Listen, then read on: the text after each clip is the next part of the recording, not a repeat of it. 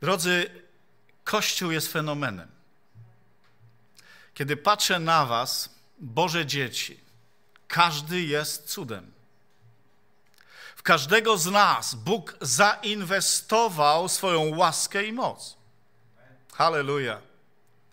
Jesteś kimś szczególnym, skoro Bóg spojrzał na ciebie, wezwał cię po imieniu. I nagle Duch Boży i Słowo Boże stało się dla ciebie jasne i zrozumiałe. I doszedłeś do tego błogosławionego przekonania, że potrzebujesz Zbawiciela. Bez tej pracy Ducha Świętego, bez działania Ducha Świętego, nikogo z nas by tutaj nie było. Bo grzech powoduje coś takiego, że człowiek jest dumny sam w sobie i uważa się za całkiem w porządku. Ale łaska Pana i moc Ducha Świętego przychodzi i usługuje nam. I Bóg pokazuje nam, z jakiego, w jakim tragicznym miejscu byliśmy. Moi drodzy, Kościół jest fenomenem i nie jest tylko czymś fizycznym, dotykalnym, w sensie, że po prostu się zgromadzamy, spotykamy, widzimy, ale ma ten potężny, właściwie to jest, to stanowi o jego istocie, jest duchowym organizmem. Każdy z nas, każde Boże dziecko, dzięki łasce i mocy zostaliśmy zrodzeni z mocy ducha i słowa. A Jezus powiedział, że Jego słowa to duch i życie. Każdy z nas ma ten wymiar duchowy. Dlatego też Bóg może z Tobą i ze mną komunikować się w naszym odrodzonym duchu. Przez Ducha Świętego. Oto możesz słyszeć Boga, możesz doświadczać Boga, możesz rozmawiać z Bogiem. Duch Twój i mój z łaski i mocy Boga został w momencie pokuty, nawrócenia i zawołania do Boga, mocą Boga odrodzony, wzbudzony do życia. I nie kto inny jak sam Pan, przez Ducha Świętego i sam Ojciec zamieszkali w nas. Amen? Zamieszkał w nas. Powiesz, patrzę w lustro i jakoś nie widzę tego. No tak, bo on jest niewidzialny, bo on jest duchem ale dzięki niech będą Bogu, który jest niewidzialny, że jest poznawalny i doświadczalny dla nas. I możesz śmiało powiedzieć: Pan do mnie mówi. Albo Pan sprawił to i to w moim życiu, albo Bóg mi pokazał na to i na to. I nie powiesz, ja zobaczyłem, ja sobie to załatwiłem, ale mówisz, nie, to Bóg właśnie do mnie przemówił. Halleluja. Chcę Wam coś powiedzieć, Jezus przychodzi. Jezus przychodzi. Jest bardzo blisko. I Biblia mówi, że kiedy On przychodzi, Kościół nie powinien się tworzyć, ale z ufnością i nadzieją podnieść swoją głowę w oczekiwaniu na przyjście tego, który nas odkupił.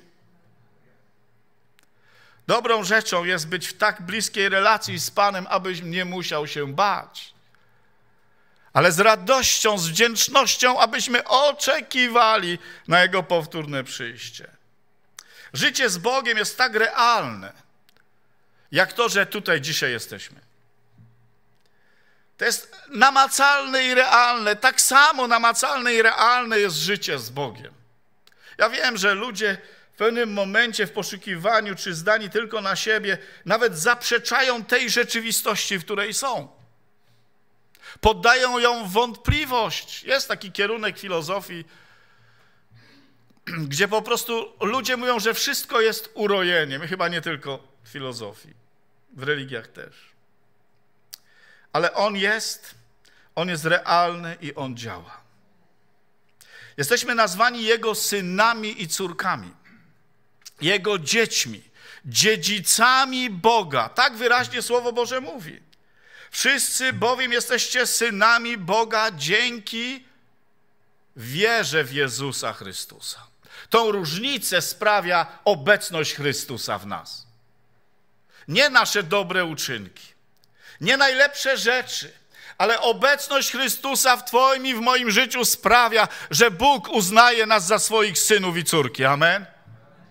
Ze względu na Niego, na Jego odkupienie i na Jego sprawiedliwość. I w tym samym liście do Galacjan apostoł Paweł mówi, a ponieważ jesteście synami, Bóg posłał do waszych serc ducha swego syna, który woła Abba, Ojcze. Tak więc już nie jesteś niewolnikiem, jesteś synem, córką. To za sprawą Boga również dziedzicem. A więc najlepsze rzeczy, które Bóg ma i to, co Bóg mógł uczynić, to to, że nas w Jezusie Chrystusie usynowił. Przyjął za synów. Niektórzy się sprzeczają, czy to jest adopcja. Jakkolwiek nazwani jesteśmy synami Bożymi, zrodzonymi z Ducha Świętego. Może coś więcej, bo zrodzonymi z Ducha. A więc Bóg jest i działa w życiu swojego Kościoła. Działa w oparciu o swoje święte słowo. Działa i przemawia do ciebie i do mnie przez słowo, które apostoł Piotr nazywa mlekiem dla nowonawróconych, ale też nazywa je słowem proroczym, które jest dane Kościołowi. Jest napisane bardzo wyraźnie: Mamy więc słowo prorockie, jeszcze bardziej potwierdzone. A wy dobrze czynicie, trzymając się go, niby pochodni świecącej w ciemnym miejscu, dopóki dzień nie zaświta i nie wzejdzie jutrzenka w waszych sercach. Proroctwo nie podlega dowolnemu wykładowi, albowiem proroctwo nie przychodziło nigdy z woli ludzkiej, lecz wypowiadali je ludzie Boży niesieni. Niektóre tłumaczenia podają natchnienie, ale dokładnie zniesieni Duchem Świętym. A więc Słowo Boże jest z boskiej inspiracji, z Bożego Ducha. Drugi Tymoteusza 3,16 mówią, całe Pismo przez Boga jest natchnione. I to słowo pozwala nam poznać prawdę i trzymać się prawdy. A szczególnie teraz, kiedy dzieją się tak różne rzeczy i głoszone są różnego rodzaju nauki.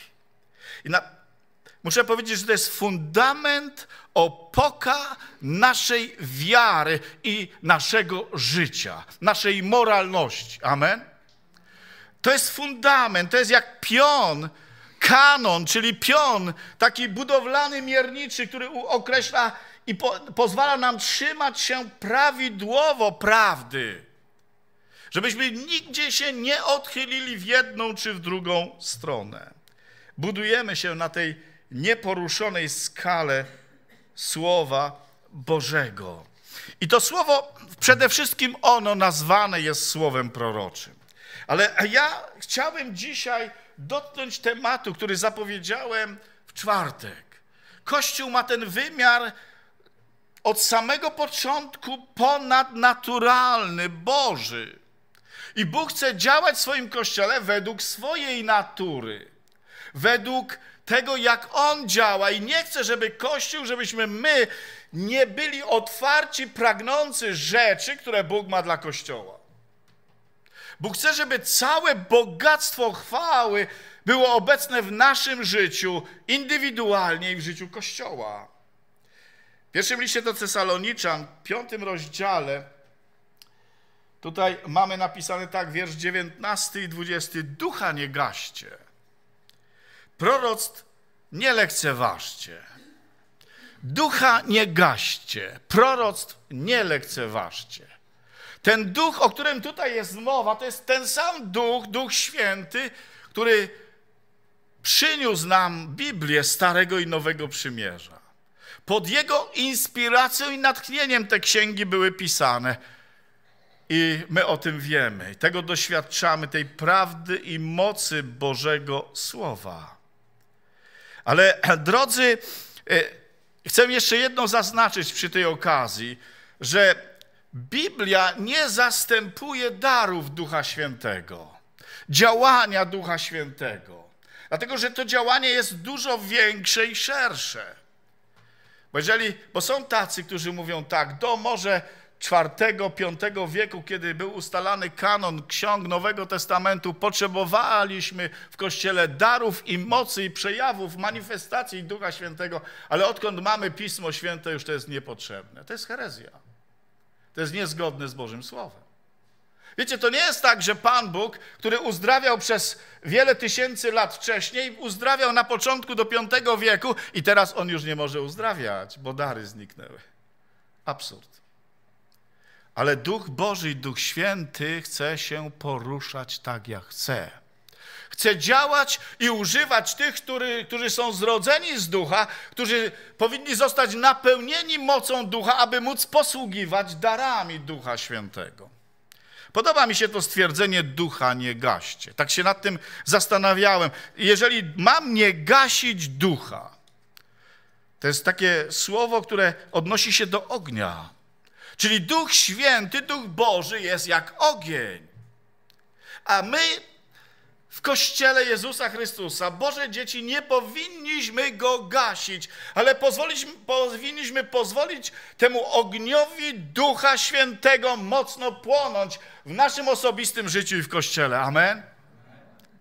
Duch Święty powinien poruszać się, bo jest naszym przyjacielem, bo jest naszym orędownikiem, bo jest naszym pocieszycielem i nie powinniśmy go gasić. A czasami robimy to, bo się boimy Jego działania.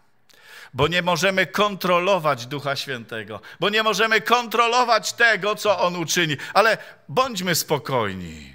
Duch Święty nie uczyni niczego, co by przyniosło hańbę imieniu Jezusa. Duch Święty przychodzi i działa i porusza Kościół w uwielbieniu i chwale. A więc kiedy Kościół uwielbia Boga, nie gaś ognia uwielbienia i chwały, stojąc i milcząc, ale dołącz i zacznij uwielbiać Boga. Zacznij śpiewać całym sercem. Zacznijmy błogosławić imię Pana. To jest taka niby prosta rzecz. Ale Duch Święty ma dużo więcej do działania i do zaoferowania. Tutaj Paweł pisząc do zboru w Tesalonice mówi, nie gaście ducha. Nie bądźcie jak ci, którzy chodzą z taką płachtą, jak jest gdzieś ogień, ducha się zaczyna palić, czyjeś serce jest poruszone, to szybko go tam przykryjemy tym, żeby... Nie.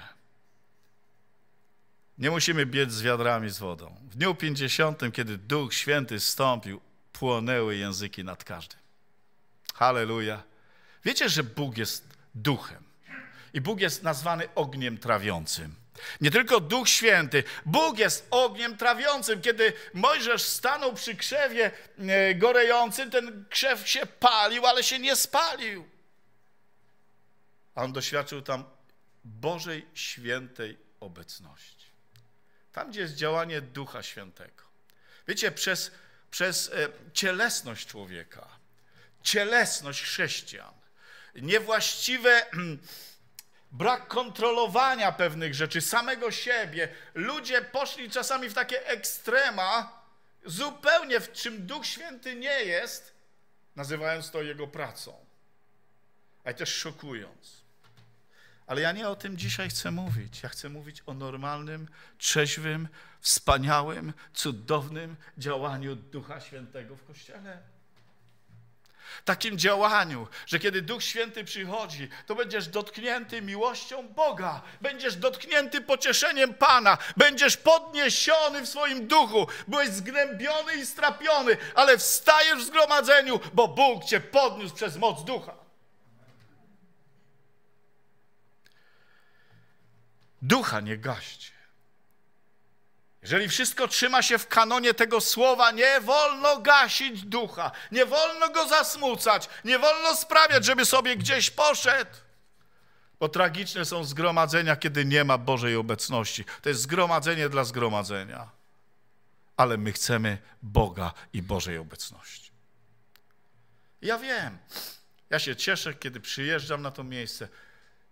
Ja wiem, że doświadczamy Bożej obecności ale chcemy pozwolić i być gotowi, aby Bóg mógł działać, przemawiać do Ciebie, do mnie i do Kościoła w taki sposób, aby poprowadził nas do swoich celów i wymiarów. Chyba, że nie jesteśmy tym zainteresowani. Ale Bóg, sądzę, tym jest zainteresowany. Chociaż każde proroctwo przychodzi z woli Boga, z powodu narzędzia, jakim jest człowiek, musi być doświadczone, sprawdzone z zapisanym Bożym świętym Słowem. Mamy pion mierniczy, mamy kanon, mamy prawdę.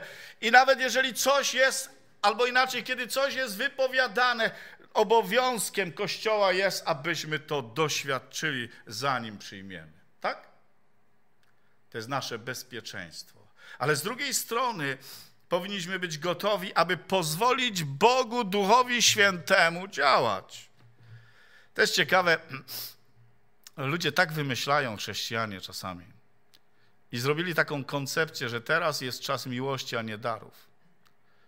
Że więcej powinniśmy zwrócić uwagę na miłość. Ale słuchajcie, kiedy jest mowa w liście do Koryntian pierwszym, 12, 13, 14 rozdział, tam jest mowa, że dary łaski są darami wypływający z miłości Bożej do nas.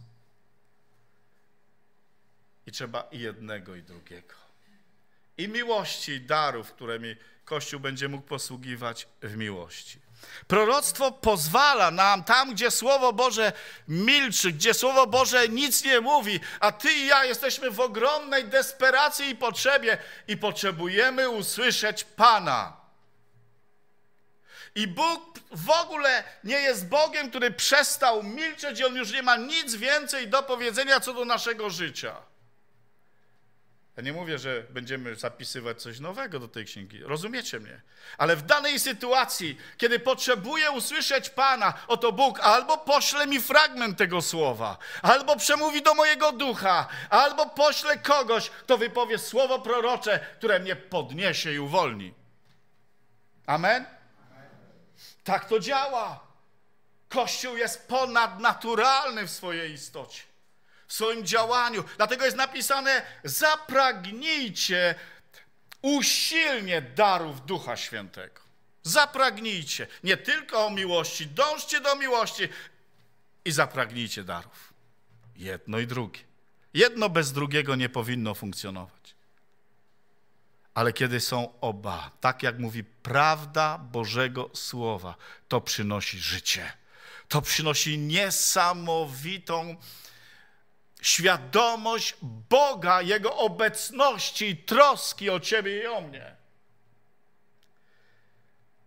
Drodzy, ja wiem, że czasami, jak myśmy zaczynali swoje życie wiary i ludzie zaczynali przekazywać dar, e, słowo w językach i później interpretację, tak jak mówi nam, czy słowo prorocze, wiecie, bardzo dużo w tym wszystkim czasami było takiego osądzania zboru, osądzania innych. Ale muszę wam powiedzieć, że jeżeli chodzi o ten typ prorokowania w zborze, Paweł wyraźnie naucza w 14 rozdziale, że prorokowanie w zborze ma robić trzy rzeczy.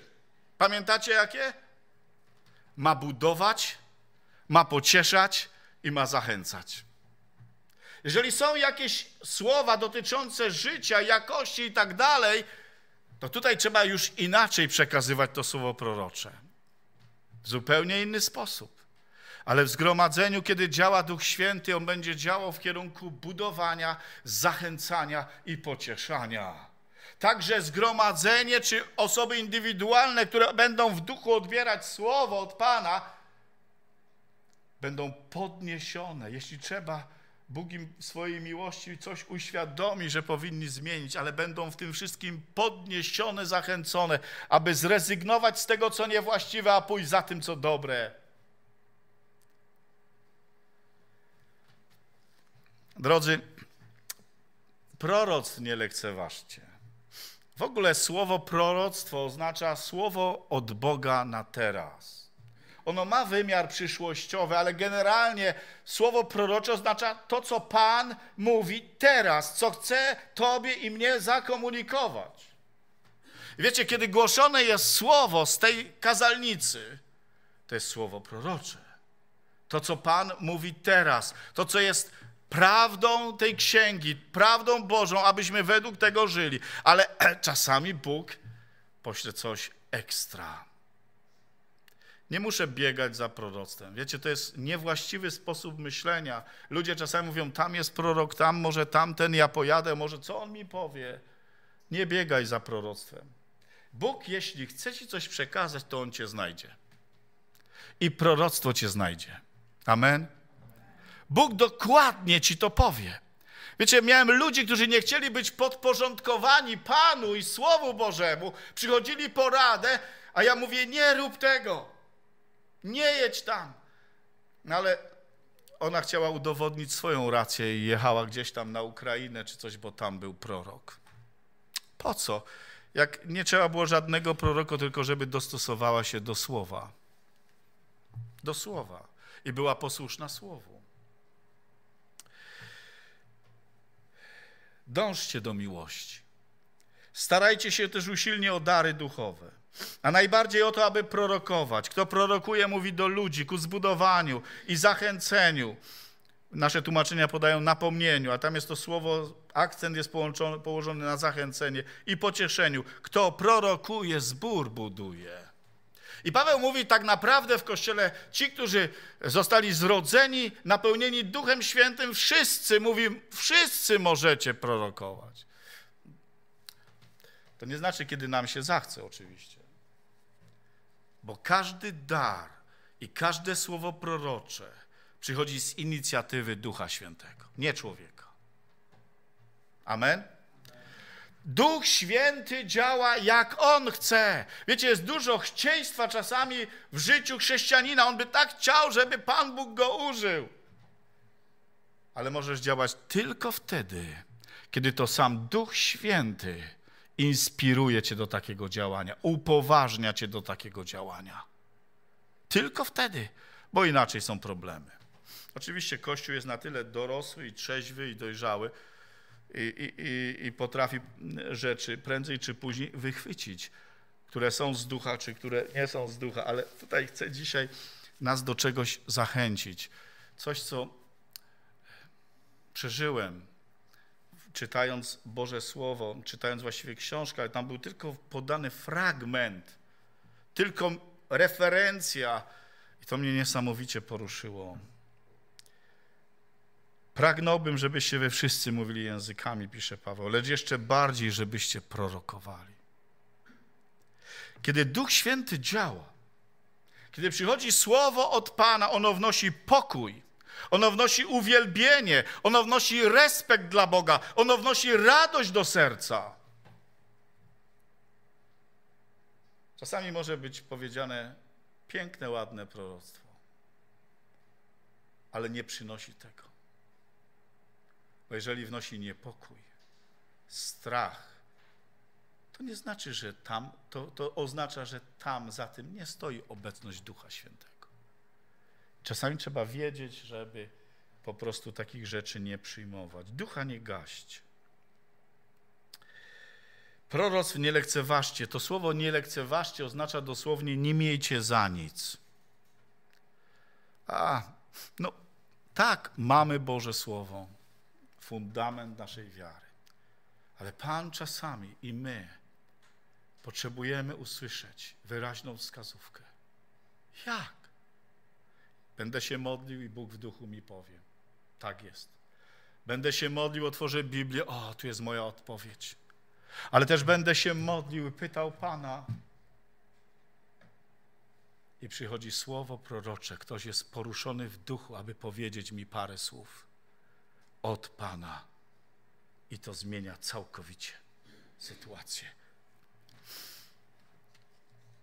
Tak więc proroctwo nigdy nie zastępuje i nie zastąpi Bożego Słowa. Ale to słowo prorocze pozwala nam, pozwala nam działać, podnieść się w różnych sytuacjach, odebrać kierownictwo i prowadzenie, które potrzebujemy usłyszeć. Właściwie ono będzie takim upewnieniem nas tego, co Bóg w duchu mówi już do ciebie i do mnie. Jeden z braci, który usługiwał, usługuje, nie wiem, czy on żyje w służbie proroczej w ogóle. Bo wiecie, że Chrystus jest i kapłanem, i królem, i prorokiem. Taka jest jego służba. Więc nie musimy tutaj w tym względzie być gdzieś tam zdystansowani mieć jasność co do tego, jak to jest. Mówi, będąc w jednym, na jednej z konferencji, kiedy głosił Słowo Boże, Duch Święty mu wskazał jedną kobietę. I on mówi do niej bezpośrednio: z Bożej inspiracji. Zaczął do niej mówić i mówi tak: modlisz się i pościsz o swoją córkę, która odeszła od Pana i od Ciebie. I martwisz się i modlisz się, aby nie wpadła w narkotyki, czy też nie została wykorzystana seksualnie. Kiedy on się nad nią modlił, nagle zaczął do niej przemawiać proroczo. Bóg mu to wszystko pokazał i objawił. Wiecie, zdarza się czasami, i tego sam doświadczyłem, kiedy modlę się o ludzi, którzy wychodzą do modlitwy i nie mam zamiaru, modlę się o potrzeby, ale w trakcie modlitwy odczuwam wyraźnie, że Bóg inspiruje mnie do tego, aby przekazywać pewną, pewne słowo prorocze, zachęty, czy też ostrzeżenia, czy... I bardzo często pytam tych ludzi, czy to, co mówię do ciebie ma sens. I ponad 90% ludzi zawsze mówi tak. Tak. I on mówi, kiedy modliłem się nad nią, Bóg mówi, Bóg posłał do mnie słowo. I mówi tak, że Bóg jest czynnie zaangażowany, jeśli chodzi o jej córkę, o życie jej córki. Nie spotka jej krzywda. Bóg w, tej, w tym słowie proroczym do niej zapewnił ją, że jej modlitwa została wysłuchana, powinna przestać prosić, a zacząć dziękować i chwalić Pana za jego zaangażowanie. I wiecie, ona zaczęła tak robić. Kiedy mówi, zaczęła dziękować i chwalić Pana, bo przecież ten człowiek nie wiedział o niczym. On miał słowo dla jej potrzeby, dla jej sytuacji, dla jej zmagania się w poście i modlitwie, walczyła o swoje dziecko. I przyszło słowo prorocze. Bóg jest zaangażowany. Nie bój się o nią. Bóg ją zachowa od tego, co się modlisz. I przyjdzie czas, że ona wróci do Pana i do Ciebie. I kiedy ona zaczęła dziękować, czyli musiała zaufać słowu od Pana. I zaczęła dziękować. I zaczęła wielbić. I mówi, kiedy zaczęłam dziękować i wielbić, nic się nie zmieniało. A nawet przyszło gorsze. Ale nie przestała dziękować i wielbić Boga, bo Bóg dał, posłał jej słowo zachęty. Pokazał jej, co Bóg zamierza uczynić. I ona wbrew tym wszystkim okolicznościom dalej trwała w dziękczynieniu i w modlitwie. I nagle stało się to, co Pan zapowiedział. Ona przyszła do Pana i wróciła do niej. A ta siostra w wyniku tego słowa proroczego nie tylko, że została wiecie, w tym, tym boju walki posilona, przyszła wiara do jej serca, ale ona stała się taką zachętą dla wielu w Kościele do dziękczynienia i uwielbiania Boga. Halleluja. Wiecie, słowo prorocze sprawia, że podnosisz się w duchu. Oto z rezygnacji, ze zmartwienia, nagle Bóg posyła ci słowo. Wiecie, czasami to są bardzo proste słowa. Ja mówię, czasami wystarczy, że Bóg kogoś inspiruje, tak jak miał, przeżywałem to w Anglii, w jednym z, na jednym z nabożeństw, kiedy skończyłem usługiwanie, zszedłem z kazalnicy, przyszła jakaś starsza siostra, pierwszy raz w życiu się widzimy. A ona po prostu mówi, wiesz, Pan mi powiedział. Czy Duch Święty tak wyraźnie mi mówi, żeby ci powiedzieć, że Bóg cię kocha?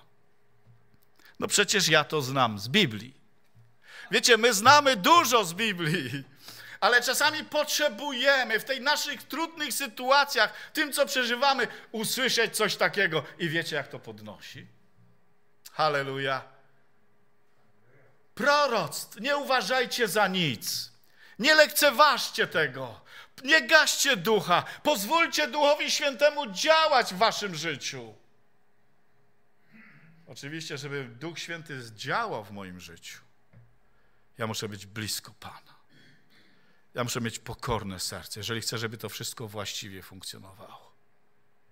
Ale Bóg przez takie rzeczy pokazuje mi, że Ciebie i mnie dostrzega, widzi i troszczy się o Ciebie i o mnie. Amen. Halleluja. Na innym z nabożeństw mówi, został, zostałem zaproszony na takie, żeby y, coś mówić. Wiedzieli, że usługuję w tym darze proroczym. Wiecie, to nie jest tak, że on mówi, gdzie przyjeżdżam, to wszyscy w kolejce się ustawiają, ja im prorokuję. Nie. On mówi, kiedy mam słowo od Pana prorocze, to prorokuję, ale kiedy nie, to nie prorokuję. Czasami przyjeżdżał do zborów i wszyscy oczekiwali, że teraz on będzie mówił niesamowite rzeczy, a on nie miał żadnego słowa do tego zboru. Ani do nikogo w tym zborze. Bo dar działa nie tak, jak człowiek chce, ale jak Duch Święty działa. Każdemu udziela tak, jak on chce, kiedy on chce. Ale mówi, przyjechałem do takiego zboru, gdzie była taka, taki sceptycyzm co do darów ducha i prorokowania. I modliłem się i wyciszyłem moje serce i mojego ducha. I nagle Pan daje mi obraz mężczyzny, który jeździ żółtą ciężarówką, dokładnie gdzie jego baza jest. I zaczyna prorokować. Mówi, wiecie, Bóg daje mi taki obraz. Widzę mężczyznę, który jeździ ciężarówką, ma tam bazę i nagle zaczyna, na razie ma obraz i nagle zaczyna przekazywać poselstwo do młodego człowieka. Mówi, odnajdziesz swojego tatę i będzie pojednanie. I będziecie pojednani. Ten chłopak nie widział taty od czwartego roku życia niedawno nawrócił się i przyszedł do tego zboru. Cały zbór modlił się o to, żeby on mógł odnaleźć tatę. A ten przyjechał i Bóg mu to pokazał. Wiecie, jak on zaczął to mówić, to cały zbór wpadł w szał. Oczywiście radości. Wszyscy zaczęli wielbić Boga, klaskać i dziękować. I rzeczywiście on pojechał tam, gdzie on mu wskazał, gdzie Bóg objawił i mógł pojednać się, czy też odnaleźć swojego tatę i nawiązać z nim z powrotem relację. Oto Bóg posyła słowo. Popatrzmy do drugiej księgi kronik. Niesamowita sytuacja. 20 rozdział, druga księga kronik. Jest to historia jednego z najbardziej pobożnych królów judzkich, Jehoszafata. I czytamy tutaj tak, od pierwszego wiersza. Jakiś czas potem nadciągnęli Moabici, Amonici, a z nimi niektórzy z Maonitów na wojnę z Jehoszafatem. Doniesiono wówczas Jehoszafatowi, nadciąga na ciebie potężne wojsko z zamorza Zedomu. Jest już Faseson Tamar, to jest w Engedi. Jehoszafat przestraszył się i postanowił szukać woli Pana. W tym celu przybyli również szukać woli Pana. Ogłosił też post w całej Judzie. Judejczycy zebrali się więc, aby szukać woli Pana.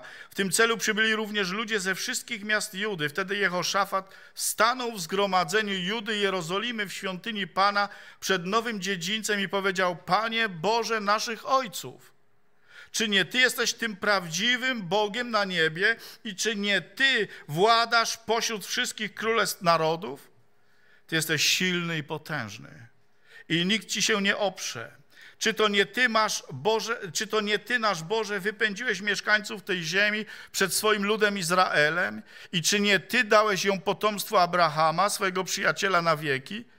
Dzięki temu zamieszkali w niej i zbudowali w niej świątynię dla Twego imienia z przeświadczeniem. Jeśli spadnie na nas nieszczęście, miecz sądu, zaraza lub głód, to staniemy przed tą świątynią i przed Twoim obliczem gdyż Twoje imię mieszka w tej świątyni i będziemy do Ciebie wołać w naszej niedoli, a Ty nas wysłuchasz i wybawisz. Drodzy, oni mieli księgę, oni mieli zakon, oni mieli to już zapisane, ale teraz przyszła sytuacja, oto wróg wystąpił przeciwko nim i zrobili dokładnie tak, jak mówi Słowo Boże, tylko potrzebowali wiedzieć, co mają robić w tej sytuacji. Jakie jest takie szczegółowe słowo Pana. Zrobili tak, jak mówi słowo. Zaczęli pościć, modlić się, przyszli do świątyni, on na to się powołuje. Ale nie wiedzieli, co robić. Wróg nadchodził, potężne trzy armie. Przyszedł strach i lęk na nich. I dalej on się modli. Teraz oni oddzięczają się nam najazdem, Chcą nas wpędzić, wypędzić z Twojego dziedzictwa, które dałeś nam w posiadanie. Boże nasz, czy nie pośpieszysz z rozstrzygnięciem? Brak nam bowiem sił, aby sprostać tej potężnej armii, która nadciąga przeciwko nam. Nie wiemy, co zrobić, dlatego nasze oczy kierujemy ku Tobie. Stali zaś tak przed Panem wszyscy Judejczycy, ich dzieci, kobiety i synowie. I wtedy duch Pana I wtedy duch Pana spoczął na obecnym zgromadzeniu Jahazielu. Ducha nie gaście. Niech Duch Boży działa. Wtedy Duch Pana spoczął na Jahazielu. Wiecie, co znaczy imię Jahaziel? Pan widzi. Pan widzi.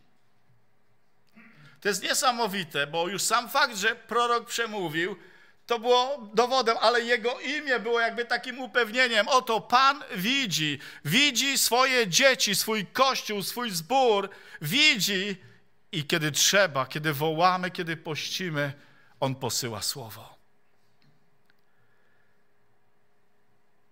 Spoczął na nim duch Pana i zaczął mówić, także przemówił, uważajcie wy wszyscy Judejczycy i mieszkańcy Jerozolimy oraz ty, królu Jehoszafacie, tak mówi do was Pan, nie bójcie się i nie drżyjcie przed tym potężnym wojskiem. Nie wasza to wojna, ale Boża. Jutro wyjdźcie im naprzeciw. Będą oni szli w górę z boczem Sis, a spotkacie ich na skraju doliny przed wejściem na pustynię Jeruel. Nie waszą rzeczą będzie przeciwko nim walczyć. Ustawcie się tam i stójcie a zobaczycie, jak Pan pośpieszy wam na ratunek, Judo Jerozolimo. Nie bójcie się, nie drżyjcie. Jutro wyjdźcie im naprzeciw, a Pan będzie z wami. Diametralnie zmieniła się sytuacja. Oto Bóg posyła słowo prorocze. Duch Święty przekazuje słowo przez Jahaziela. I mówi wyraźnie, zapewnia im po pierwsze, nie bój się. Nie bójcie się, nie drżyjcie. Po drugie, Bóg mówi, Bóg załatwi tą sprawę, ale waszym zadaniem jest iść jutro, wyjść naprzeciw wrogowi. To jest niesamowite. Słuchajcie, kiedy czytałem ten rozdział 20, od razu mi się przypomniał list do Efezjan, duchowa walka wierzącego. Tam też jest napisane, weź zbroję, nie uciekaj, ale stój, stójcie, dając używając waszej zbroi. Czyli oni mieli coś zrobić. Słowo prorocze dawało im instrukcje. On nie powiedział, ok, Pan Bóg już powiedział, to my zostajemy w domu, wracamy. Nie, nie, nie, nie. Żeby wypełniło się słowo, oni musieli zrobić swoją część. Uwierzyć, przyjąć, czyli pierwsze, być przekonanym, to mówi Pan, wiemy, to mówi Pan, teraz nie wolno nam tego zlekceważyć i zaczęli realizować. Nie rozjechali się do domów, teraz Pan już załatwi wszystko. Nie, nie. Wiecie, czasami Bóg do nas mówi coś, a mówimy, skoro Bóg tak powiedział, to to się już na pewno wydarzy. I zaniedbujemy tą część, którą Bóg powiedział, co powinniśmy zrobić, i wtedy On zadziała. I stało się tak, wiecie, nie widziałem jeszcze armii, która szła z instrumentami na czele, aby podjąć walkę. Ale całkowicie przemienił się duch tego narodu i tego ludu. Z rozpaczy, strachu, lęku ci ludzie nabrali otuchy, bo przyszło słowo prorocze od Pana. Ci ludzie zaczęli śpiewać, wstali rano w czas, Jehoszafat dał im słowa zachęty, mówi tylko się nie bójcie, idziemy. Wiecie, że sytuacja się kompletnie jeszcze nie zmieniła. Oni działali w oparciu o to słowo prorocze. I dopiero kiedy byli posłuszni, Bóg zaczął działać. I na, na początku szli śpiewacy i uwielbiali Boga, zanim cały zbrojny lud. Byli wszyscy gotowi, tak jak mówi Pan, wy tam stańcie i zobaczycie wybawienie Pana. I oni są gotowi, tak jak dzisiaj my, chrześcijanie, kiedy diabeł przeciwności atakują, ty i ja, weź całą zbroję i stań do walki, a zobaczysz pomoc od Pana. I ledwo wyszli tam do takiej strażnicy, która łączyła wychodziła na pustynię i nagle zobaczyli, że przeciwnik, przeciwnik pokotem leżał. Trzy armie, trzy armie między sobą się powybijali. Biblia mówi to słowo, kiedy czytasz dalej, że przez trzy dni zbierali łupy. Bóg dał im wielkie zwycięstwo. Oto Pan mówi do Kościoła, Oto ja mam dla mojego ludu, ja chcę działać przez mojego Ducha Świętego i chcę używać, tak jak zaplanowałem to, jak to przedstawiłem w Bożym Słowie.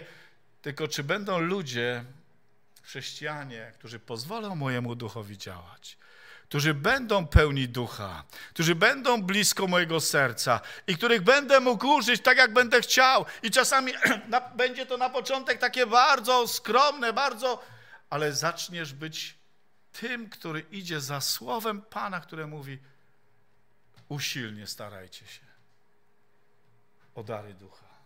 Ale też mówi do nas, abyśmy pozwolili Duchowi Bożemu Świętemu działać. Wiecie, że e, dwa, dwa takie przypadki mamy w dziejach apostolskich w 11 rozdziale pod koniec, e, kiedy e, Agabus przyszedł do Antiochii. Agabus przyszedł do Antiochii, on zresztą prorokował wcześniej Pawłowie, ale przyszedł i prorokuje w tym zborze w Antiochii, mówi, nastanie głód na całym obliczu ziemi. Ma na myśli tamten cały teren. I zbór w Antiochii, a tam byli przecież i nauczyciele, i prorocy, i, i wielu liderów. Oni powiedzieli, okej, okay, no przyjdzie głód. Mówi, przyjdzie głód. To było słowo prorocze. I wtedy oni coś postanowili w oparciu o słowo prorocze, prorocze i wysłali pomoc do zborów w Judei, w Jerozolimie, w oparciu o słowo od Pana.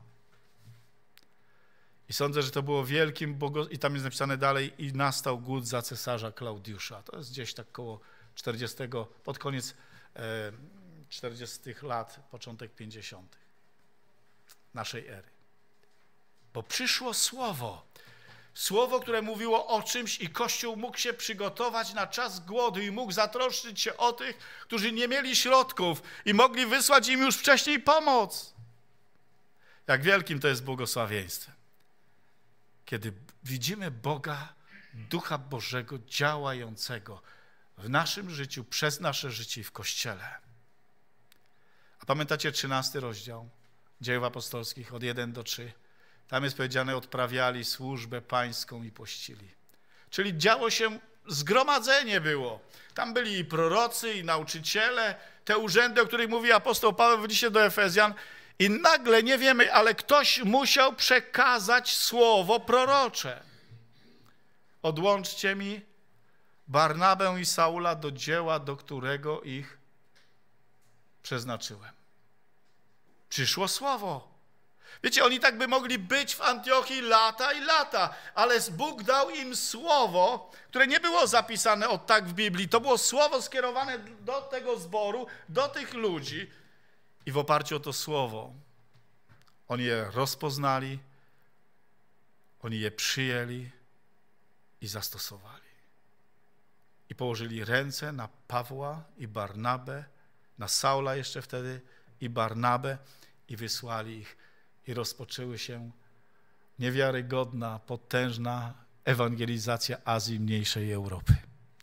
Tylko dlatego, że Kościół chodził w duchu, że Kościół wiedział, że Bóg działa, posyła i każe nam rozważać, studiować i poznawać i trwać, być zakorzenionym w Słowie prawdy, w Słowie Bożym, ale też, żeby był Kościół, który pozwala Bogu działać tak, jak On chce, aby były otwierane nowe możliwości, aby Kościół mógł w potężny sposób dzielić się Ewangelią. Popatrzcie, ile słowo prorocze przynosi błogosławieństw.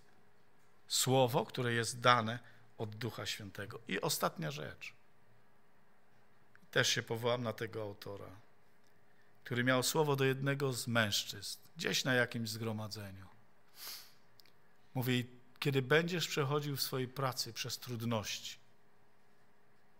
bądź, pozostań w ciszy, jak baranek, nie walcz, ufaj Bogu i weź, i to jest fajne, bo tak czasami działa. Psalm 35 jest dla ciebie. Weź go, poczytaj. Wiecie, kiedy otworzyłem Psalm 35 wobec tej sytuacji, którą on później zaczął przechodzić w pracy, był wierzącą osobą i ze względu na wiarę Chrystusa był prześladowany. Próbowano y, mu y, go po prostu wyeliminować z tej pracy. Nie dostarczano mu wszystkich dokumentów, aby on zawalał wszystko. Ale on stał wiernie, bo otrzymał wcześniej słowo, prorocze słowo. Kiedy otworzysz Psalm 35, on dokładnie mógł zobaczyć, że ten psalm jakby żywcem odnosi się do jego sytuacji, Ale ten człowiek odebrał to w sercu i mówi: weź ten psalm 35 i oprzyj się o to słowo. A czytamy w tym psalmie 35 tak: Panie, rozpraw się z moimi przeciwnikami. Walcz z tymi, którzy walczą ze mną. Chwyć tarczę oraz puklerz i powstań mi na pomoc. Dobądź włóczni i zagrodź drogę moim prześladowcom. Powiedz mojej duszy, ja jestem Twoim zbawcą. I tak dalej. Niesamowite. I to pozwoliło mu wytrzymać całą presję, całą niegodziwość tych bezbożnych ludzi. A po paru miesiącach zostali wszyscy zwolnieni, bo odkryto malwersacje, których dokonywali. Czyż nie dobry jest Bóg?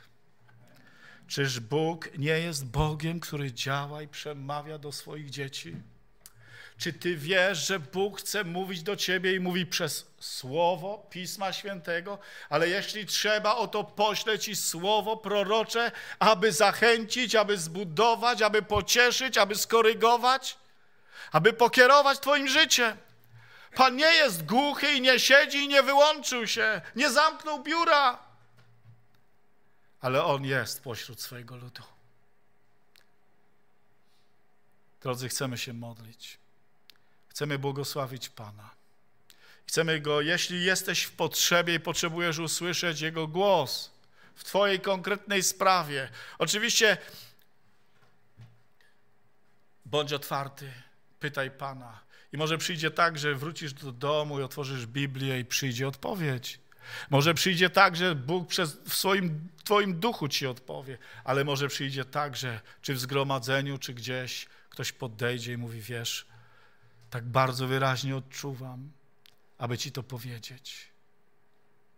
A Ty możesz to sprawdzić, ocenić, ale to może być przełom. Wiecie, Bóg przemawia w różnoraki sposób. W pewnych sytuacjach, które przeżywaliśmy razem, jako rodzina, Bóg dał mi, ja nawet nie wiedziałem, jaki to jest psalm, ale to było tak wyraźne i ja później odkryłem ten psalm słowo w słowo. Oto powstali, oto uważali, jak, że, że chcieli żywcem nas pożreć i tak dalej. Różne rzeczy. Wiecie, ja nagle później kiedyś czytam, ja mówię, gdzieś to jest, ale gdzie? Gdzieś otwieram Biblię, po, po jakimś dłuższym okresie otwieram i tam jest słowo w słowo napisane. Czy wierzycie? Wiecie, że Pan tutaj jest? Masz potrzebę?